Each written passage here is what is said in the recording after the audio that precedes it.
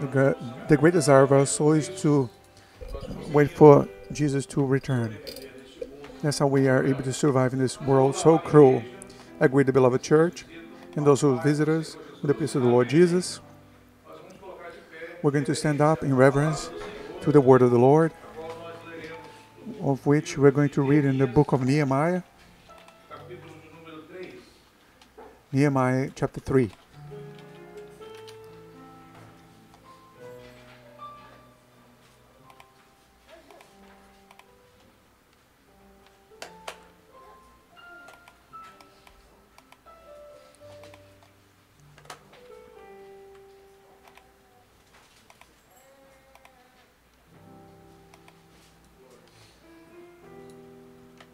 Neemias, capítulo 3. Nehemiah chapter 3.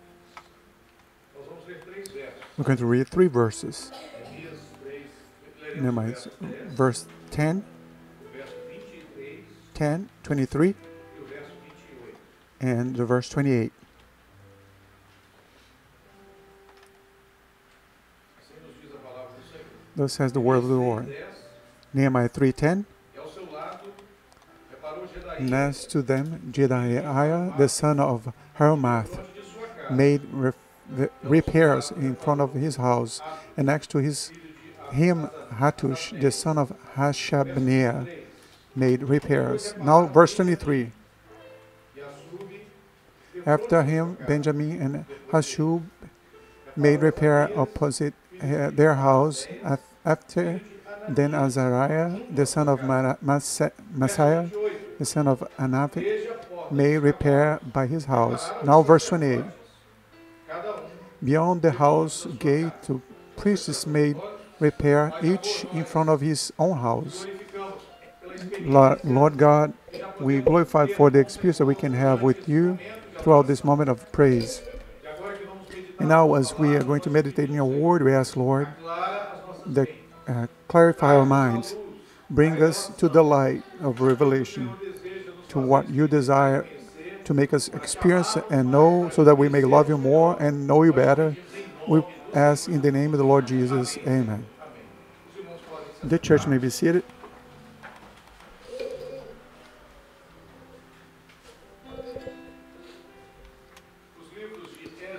The book of Ezra and Nehemiah, they are books, if looked through human eyes and reason, they are historical books. So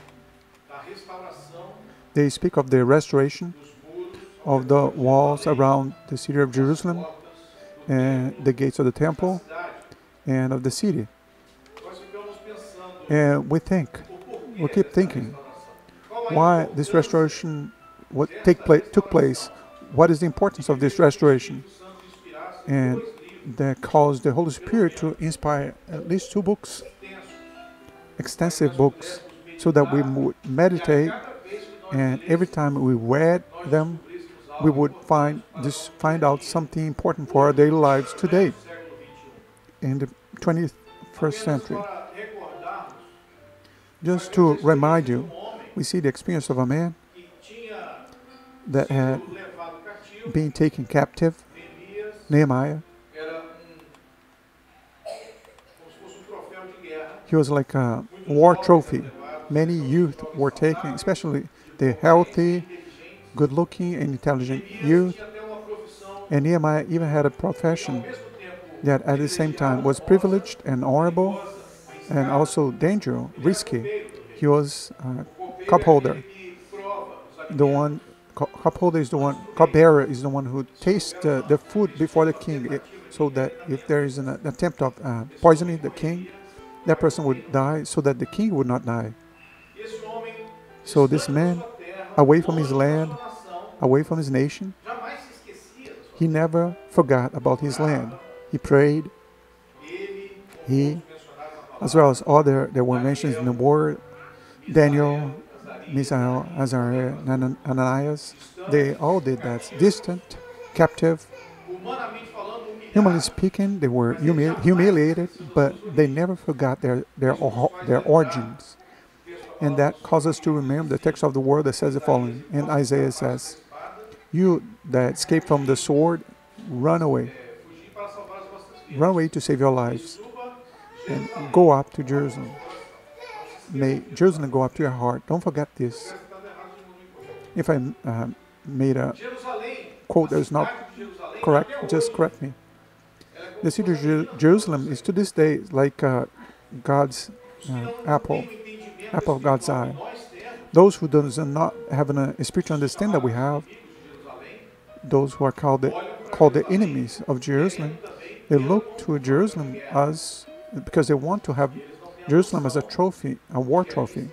They don't have any idea that there is the base of all things because Jerusalem prophetically points out to our eternal city for which we are going to go and on which we are going to live. As we just sang, Come Lord, come Lord quickly. He's going to come to take us and to bring us to this place that we call heavenly Jerusalem. And that's why Nehemiah, that could have been easily say, I've been taken captive, I'm in, in my own profession. I'm comfortable apparently, I have a good life. I'll forget my own culture, I'll forget my people, I'll forget my my population and my holy city. But he never did that. He never forgot. He always prayed and always wanted to uh, have news about the city. And when there were news to him that this city was destroyed and the, the gates had been uh, set on fire, and his face got long, and the king that had great intimacy with him, he was like a, a shadow of the king. The king noticed and asked Why is your face so saddened? And he said, Because my city is destroyed and the gates have been burnt on fire. Everything is in ruins.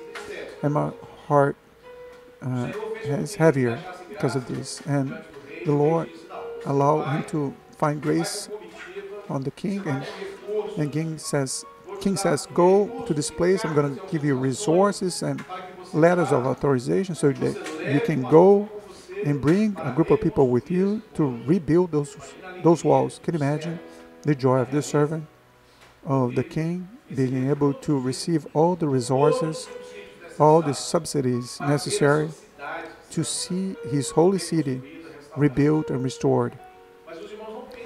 But don't think, my brethren, that it was easy. The trajectory was difficult. The distance was distance was great, and because of the belongings that were carried, it was arduous.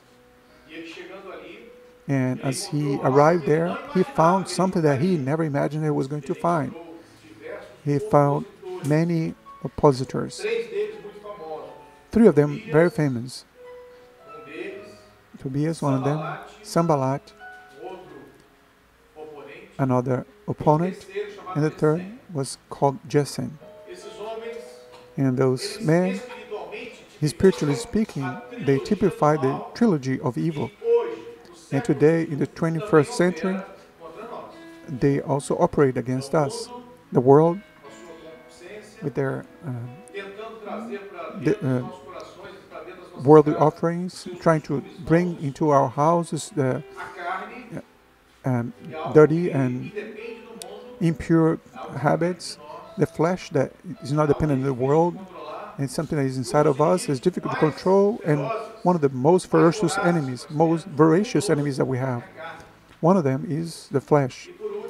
And for last, even the enemy, que é o que the enemy himself, the devil himself, that managed these other two, and those oppositors began to try to convince Nehemiah, and Ezra, and uh, the remain that were with them, the committee, convincing, try to convince them not to do this. And the arguments were even plausible, humanly speaking. The city is already destroyed. The gates have been burnt. The temple is in ruins. Leave this City behind. There are so many other things for us to do. Let's do other things. And the offerings were many. Constantly they received offering. Come here, let us celebrate this. Let us sing and rejoice. in a um, fleeting joy, artificial uh, joy. And those three are trying to do everything to try to deviate the servants from the objective of taking care of this, the walls and the gates and the temple. A blessed be the name of the Lord, because not Nehemiah or nor Ezra and his uh, entourage will never allow themselves to be carried away by those arguments from the evil. The arguments from Tobiah, Sanballat just saying, were not compared to what was in their hearts, and they were victorious. They were faithful in their purpose. And most importantly, because of this faithfulness, because of this determination, the Lord honored them in every moment of their lives. And the Bible says that they did their job with so much joy. With one hand, they they have the tool of work, and with their other hand, they had the weapons. So this would have been already an excuse, or either construct or a protect. So isn't it logical? They could have said, Nehemiah, do you want us to do the two things? You want to us to construct and to be vigilant? But exactly this was the revelation of their victory. In the same way as it is ours, the Lord has shown to us that we need to understand the purpose of this. Today, in the 21st century, could have said uh, one thing or the other, or I either work or earn my livelihood, or, or I take care of the church, or I either go to school or dedicate to my college, or to my course, or my specialization, or my post graduation, my doctorship, or I take care of the things of the church. This is possible to human eyes, right? Completely normal. I could even use the argument I cannot do two things at the same time.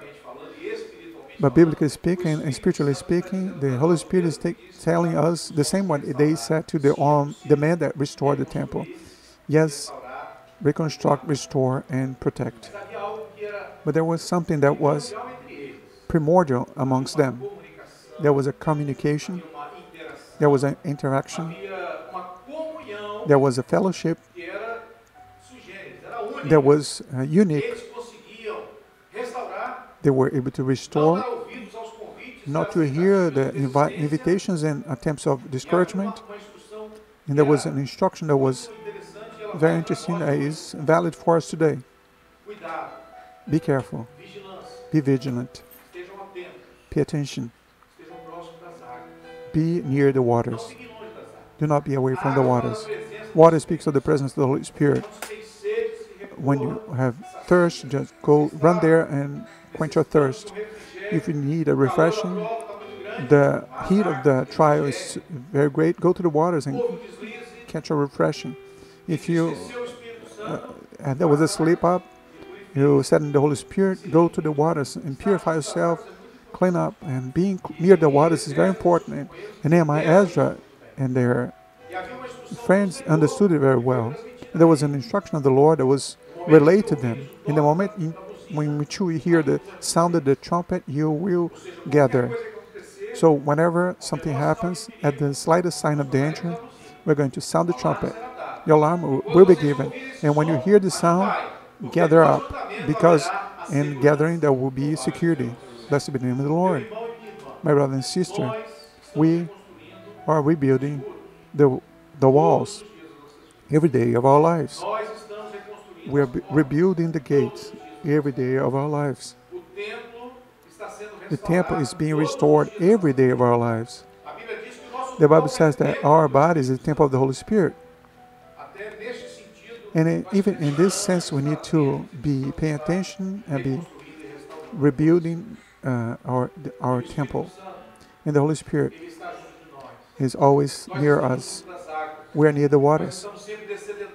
We are always quenching our thirst. Is a service, as is a visitation, is a meeting, is a group of assistants that calls, is a visitation at home, is a visit in the hospital, and even sometimes a gathering, a virtual gathering. A message is sent in the groups. Let us pray for this and this topic, and the people gather in order to pray, in order to hold hands and to help out, to be near one to one another, so that the name of the Lord may be glorified. The gates that have been burned. So, in other words, the enemy has at every moment tried to burn the person of the Lord Jesus in our lives. What Jesus represents for you and I, the enemy of our souls, is trying to destroy this so that we may become vulnerable. But the instruction of the Lord is to restore the gates so that we may be in security. The walls need to be restored. The walls speak of a limit. We need to understand the limits of the Holy Spirit for our lives. And this limit is not a limit of prohibition. G6, Is, the world, the Geshem, Sanballat, Tobias, trying to say and convince us, hey, being a Christian is a prison. You don't leave. Not knowing that the ones who say that, that in truth, in truth, the wall is being built and constantly being preserved. It speaks of a li- wonderful limit that the Holy Spirit give us and show us and says, say, my servant, to this place you can go and you'll be under my protection. And uh, until this place you go, I'll be with you, and no danger will come to your tent. What, uh, until this point you go and you'll be under my wings, and that's how we see the walls. The walls are the limit of security for our souls. But tonight, there's a detail that the Holy Spirit has called our attention to as we were praying for the service. The Lord has shown the necessity or necessity to seek a, a, a personal intimacy with Him. So, if the brethren observed in the three texts that we read, there is something in common with these three texts. It said that was a need of restoration in front of the house of where they lived. The city were, was great, inhabitants were in great number, and the responsibility of that gap, of that region, or of that rupture that existed in front of my house, it was my responsibility. So I needed to take care of it. It was a matter of spiritual logic. It is in front of my house. Why am I going to wait for Nehemiah, or Ezra to send someone and determine someone and delegate it to someone to fix it, since if it's in front of my house?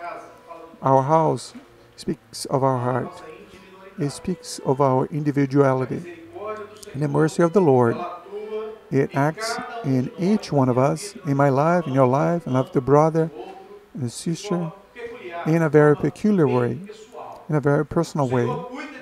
The Lord takes care of you and me according to our own nature. Blessed be the Lord for this, because a few are more timid and others are more uh, outgoing. Cuidadosos, Uh, a few are more uh, more careful, and others are more easygoing.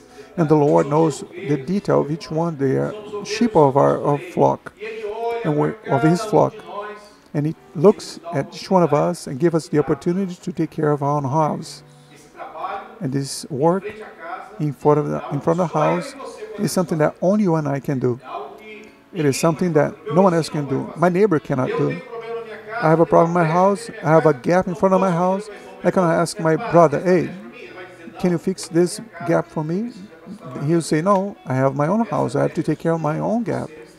This is your gap. You restore it. This is an individuality. egoísmo, Does not come from uh, being an egotistic thought, but it is from us to be able to use our own free will and maintain your- the position that please the Lord, so that the walls and the temple may be in perfect shape, so that we may be in good shape. So when the trumpet sounds, we may gather together and be raptured for the by the Lord.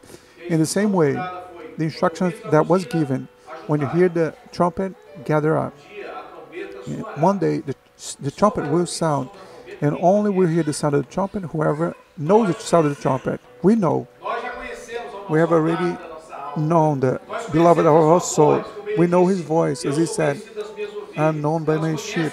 They know my voice. And I know them. entrou aqui nesta noite, saiba muito bem. Desde If you entered here tonight, you know very well that from the day we were formed, the first multiplication of cells, he knew already your name, he knew where was, you were going to live, and how you were going to be when you were adolescent and adult. detalhe da sua God knew every detail of your nature, of your personality, Ele está com suas mãos and He is with His hands operar, para te extended to operate and help to restore what needs to be restored. There are two spiritual gifts that were given by the Holy Spirit before the service, and we are going to relay them here. We're going to explore the details here because they have everything to do with our walk. The Lord has shown a farm, um, a silo filled with uh, hay, together with the grains that were that was supposed to be stored there. And there was a great multitude that had been called to remove that hay. A palha era amontoada. And this hay was uh, piled up. Every person made their own pile according to their work, and all of, of the hay was uh, burnt up. And the gift speaks of of a man that was afraid to come close because of the fire. He was afraid of the fire. And my brethren, uh, bringing the discernment into the body, holding the weapons and the tools, we have discerned that the whole the Lord is conclaiming us for us to take care of our, own personal spiritual life in front of our house. So inside of our hearts, the the hay has no worth other to be burnt. So if we have uh, a, a silo, a place filled with grain that is filled with hay, we don't even cannot e- are not even able to know how much provision we have in, stored there. See how the care of the Holy Spirit is. It takes care of the smallest details in our lives. He wants us to remove the hay so that we may look, uh, may realize how much, uh, how our spiritual life is. I need to have a better inventory of our of food. Hay speaks of the winds of doctrine. It speaks of the voices that we hear. It's the world with their tendencies and their cultures trying to influence us. There is there an attack from evil against the servants and the Christians in Jesus that is the following. If you cannot bring the, the youth to the church, bring a little bit of the world inside of the church. Can imagine the danger? We're going to do things that attract the youth. We see out there crazy things being done falsely in the name of Jesus to attack the youth. But bless you in the name of the Lord because we don't need this.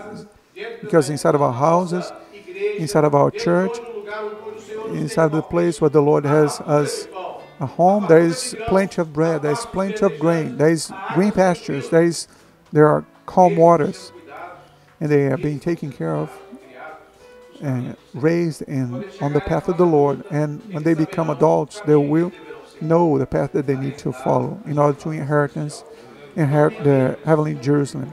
Don't be afraid of this fire. But this fire, this vision, is the presence of the Holy Spirit that comes and burns everything that should not be in our midst, should not be in our minds. It warms up our hearts and brings life, brings comfort, and purifies. In the same way as silver that is purified on fire, those uh, in the same way are the servants of the Lord as the Holy Spirit visit us. And the other gift it shows a house or two levels, two floors, and the terrace, terrace uh, they build a parapet so that the children could play on the terrace and not fall from the terrace. So the Holy Spirit take care of, of our families, especially the children.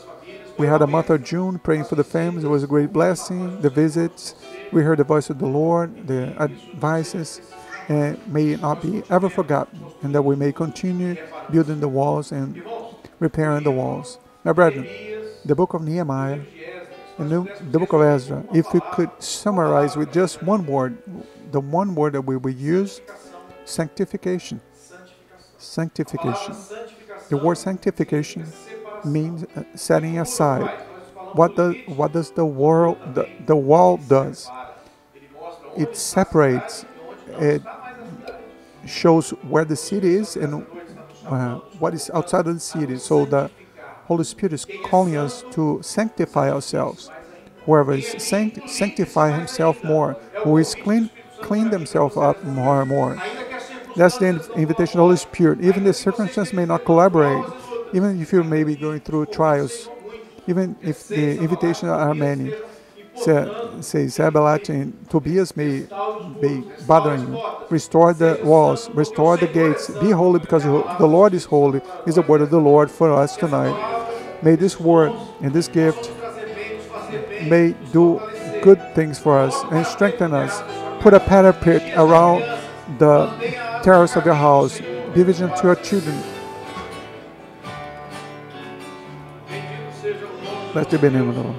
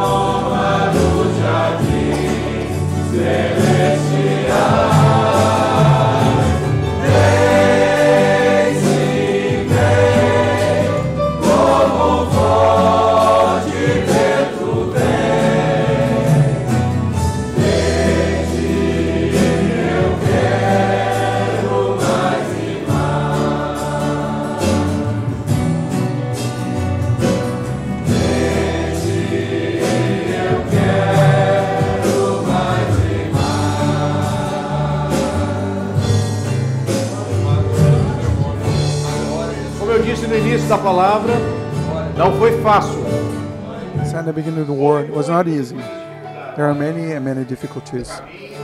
The path, the transportation of everything that was necessary. And as they- got there, the opposition, the persecution. The Lord Jesus also has not deceived us. He didn't say it was going to be easy. The word says, In the world you have afflictions, but do not be afraid. Do not be afraid of the world, because I overcome the world. Blessed be the Lord. And the victory of which he was speaking was concluded in the cross of Calvary when he said, Father, in your hand I give my spirit, everything is finished. So he finished the project of sanctification, the restoration of the walls and the gates. There he taught us and gave us all the resources that you and I need in order for the city to be restored. And in front of my house and your house there may be a gap, and our eyes may be open to hear the sound of trumpet and hear it and depart with the Lord eternally. Use the means of grace, use the fasting, the early dawns, read the word, pray with your family and your children in love. Live the experience of the church as a family. That's what happened with them at that time. They lead a wonderful fellowship for the glory of the Lord. And those are resources of the Lord, for you and I may be victorious and soon may enter in the glory of the Lord to live eternally in the heavenly Jerusalem. Blessed be the name.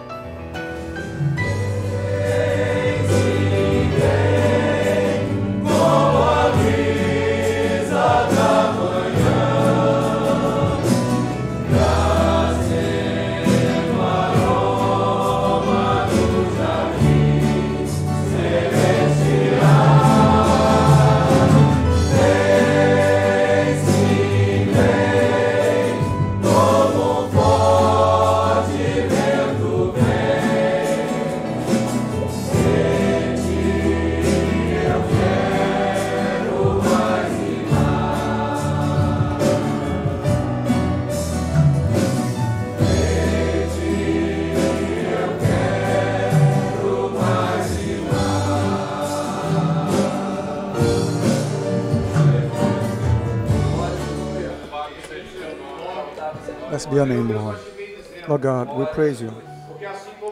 Because in the same way that as Nehemiah, Ezra, and his friends, they faced that trilogy of evil, today we face as well the same opposition. But at the same time, we have the Trinity, the Father, Son, and Holy Spirit that help us in our daily lives.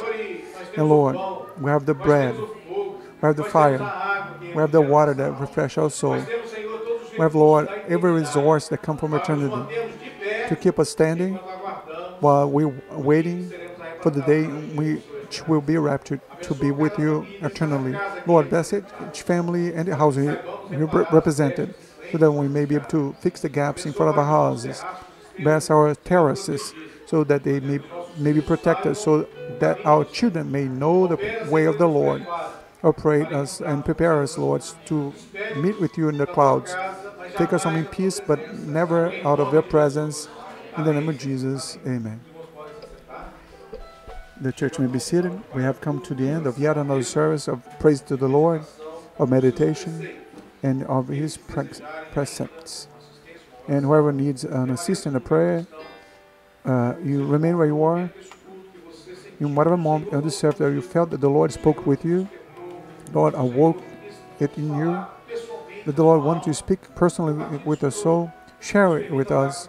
Allow us to pray with you. We're going to go towards you. We're going to glorify the name of the Lord because you are sensitive to the word of the Lord. I'm going to ask the Lord to confirm His blessing upon your life and to all the peace of the Lord. Our next service is going to be on Thursday at 8 o'clock at night. This week we are going to early dawn for the our co-works. The, the topics of the prayers are on the back and to all peace of the Lord.